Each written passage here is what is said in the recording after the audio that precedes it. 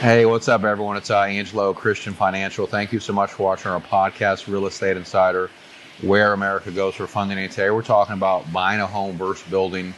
Which one is actually smarter? So I get this question all the time because, especially as inventory has decreased in America for real estate, uh, a lot of people have opted towards building their home. And we're one of the only lenders in the country, uh, direct lender, that offers one time close construction, jumbo construction uh, we can do the land loans, the construction loans, and build your house. And we also offer existing financing too.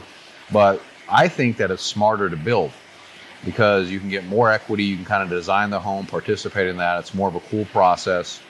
Um, and you know you can kind of control you know the design of your home to some extent. We even offer owner builder. If you're a licensed builder, you can build your own home.